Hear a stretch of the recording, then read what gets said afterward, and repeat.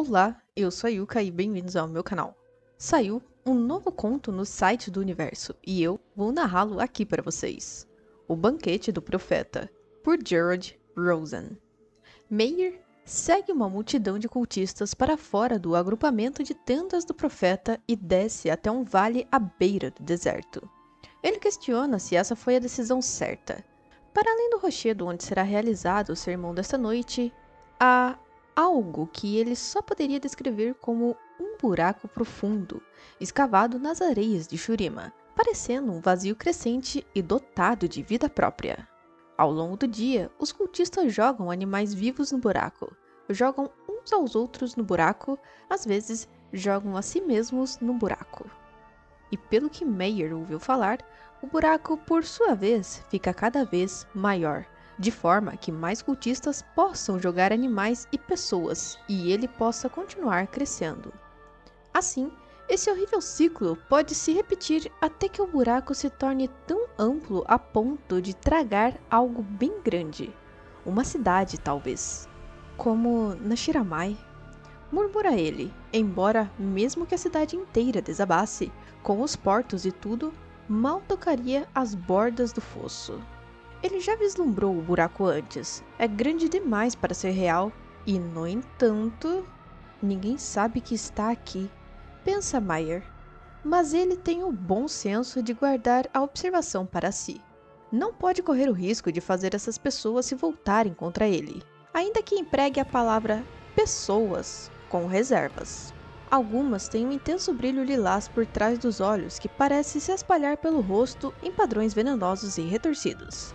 Elas murmuram constantemente o nome de Katia, ou algo chamado o vazio. Ele não pode voltar para casa, nem sabe ao certo se sua casa ainda existe. Entretanto, ele não pode fugir para nenhum outro lugar a não ser mais ao sul, onde a terra se torna cinzenta e criaturas com os nomes de antigos monstros míticos se contorcem nas pedras. Meyer precisa continuar fugindo. Se parar, tropas de Noxus o encontrarão e, como ele atacou um oficial, vão matá-lo. Veio ver o profeta? Um homem pergunta a ele enquanto a multidão prossegue para a área aberta semelhante a um palco de teatro. A pele, no entanto, estremece de maneira nauseante sobre um manto esfarrapado. Meyer vê alguns dentes do homem se movendo dentro da boca. Sim, Responde Meyer sabendo que os cultistas não vão deixá-lo passar sem ouvir um de seus sermões. O homem ri. Você é novo. Novo na cidade, sem nome, como muitos outros. Alguns procuram o profeta, outros nada procuram. Dá tudo no mesmo. Ele aponta para o próprio rosto que brilha suavemente ao ar noturno. Não se preocupe, meu amigo. Logo, logo você vai entender. O profeta vai te mostrar. As estrelas escuras, vastas e inexplicavelmente mais próximas do que antes, cintilam agourentas acima dos lampiões improvisados da multidão. Além dessa luz está o deserto. Mais além está o buraco. E do outro lado do buraco? Liberdade? Meyer quase consegue sentir o sabor dela.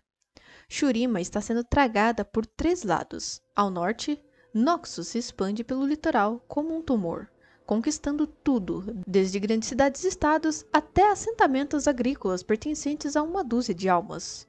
Na antiga capital, dizem que o imperador Azir, há muito tempo falecido e agora supostamente renascido, está se preparando para uma guerra inevitável. E no sudeste, bem, o sudeste é aqui, e essas pessoas estão devorando-o. Tem que haver alguma coisa além do buraco descendo ao longo da costa cinzenta e inóspita, no extremo sul para a península de Katia. Um porto de contrabandistas ou talvez um ponto de parada para navios de pescas vindos de águas de Sentina? Meyer poderia pegar um barco, recomeçar a vida nas águas de Sentina e então. Pare de pensar. Rosna o homem de rosto desfigurado. Meyer ergue a cabeça e viu uma dúzia de pares de olhos luminosos e distorcidos fixados nele. Você pensa alto demais. Faça silêncio! O homem indica o rochedo, que agora serve de púlpito para uma figura macilenta. Malzahar chegou. O profeta está coberto de lenços e mantos grosseiramente adornados com os símbolos da antiga Ikatia. Os pés estão descalços, as mãos em punho parecem paralisadas numa rigidez cadavérica, como se ele estivesse tentando se defender de algum tipo de criatura monstruosa. O rosto está oculto com um longo manto púrpura e a cabeça. Meyer sente como se uma furadeira estivesse sendo cravada em seu cérebro. Ele olha por um instante para o rosto do profeta e vira na testa dele algo se mexendo. Não, isso não pode estar certo. O crânio de Malzahar era uma teia fina e carnuda, com alguma coisa medonha no interior. Uma luz pulsante dentro de outra luz alastradora, faminta. Meus filhos. Diz Malzahar, embora sua voz não seja exatamente uma voz. É, na verdade, uma projeção nos pensamentos de Meyer, uma extensão da luz intensa do profeta que é doentia e perturbadora. Meyer precisa se afastar, mas não consegue fugir. Os cultistas estão aglomerados demais e ele jamais conseguiria dar a volta no grande buraco antes que capturassem e o jogassem lá no fundo. Esta é uma noite de confissão. Agora é tarde demais. Malzahar vê. Meyer não sabe explicar como, mas em meia multidão de centenas de pessoas, o olhar do profeta o transpassa, imobilizando seu corpo. Meyer não consegue nem soltar um gemido. Ah, um recém-chegado. Diz Malzahar. Que este seja o seu despertar, então.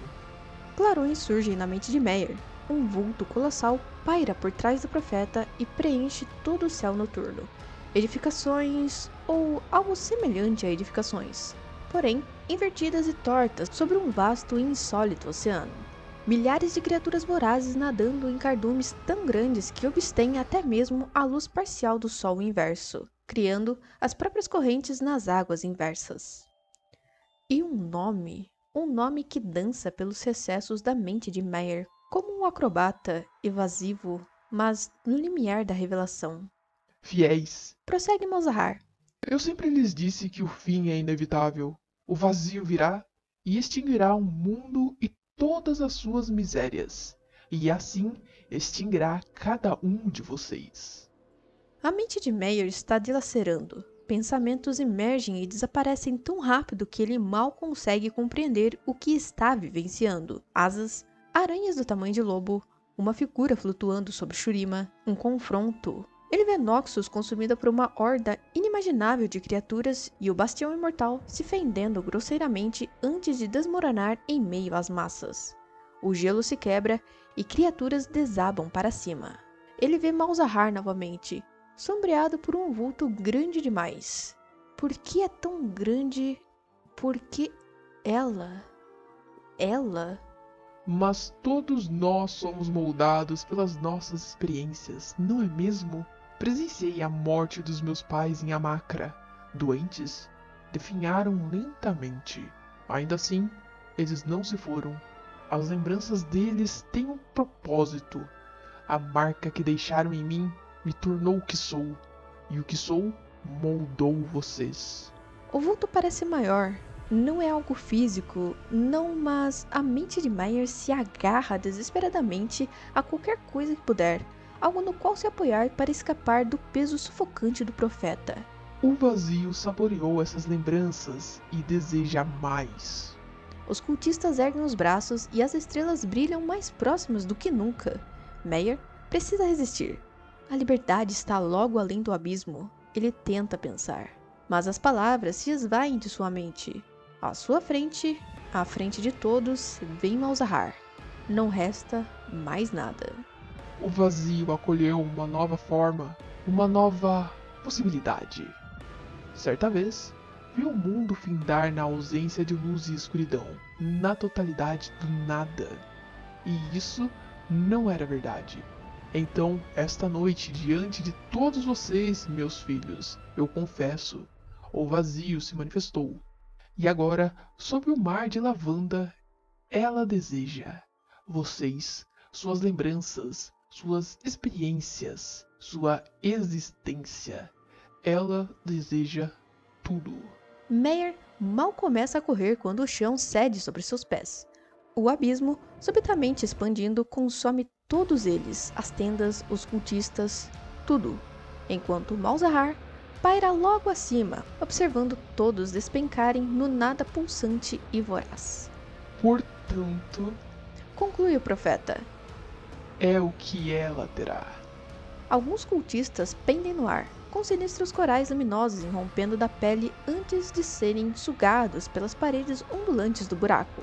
Muitos são desmembrados por cardumes de estranhos peixes iridescentes que se movem rapidamente. Outros soltam um grito antes de desaparecerem por completo, como que repentinamente dissipados. As lembranças de Meyer, como as estrelas acima, cintilam uma por uma enquanto ele despenca cada vez mais rápido. A invasão noxiana, o golpe que ele desferiu contra um oficial, sua família, seus amigos, sua infância, seus sonhos. Ele afunda no mar de lavanda, passando por bizarras edificações invertidas que se projetam irregularmente em meio à penumbra do nada além do horrendo céu vivente do vazio. Então, ele vislumbra algo descomunal que está prestes a nascer. Conforme suas lembranças se desvanecem, o vulto parece se mover em resposta a essa nova fonte de sustento, ganhando mais força enquanto Meyer, os cultistas, os animais, as tendas e tudo mais desaparecem completamente apagados das margens suaves da realidade, reaproveitados como algo novo e terrível. Um homem, outrora chamado Meyer, fecha os olhos, esvaziado de todas as coisas. Ele toca o fundo do vazio, e então ele se foi. Este é um novo conto de Malzahar. Se gostaram, deixem um like, compartilhem com os amigos e se inscrevam no canal. Acompanhem também as minhas outras redes sociais, o link para elas está aqui na descrição. Obrigada e até a próxima!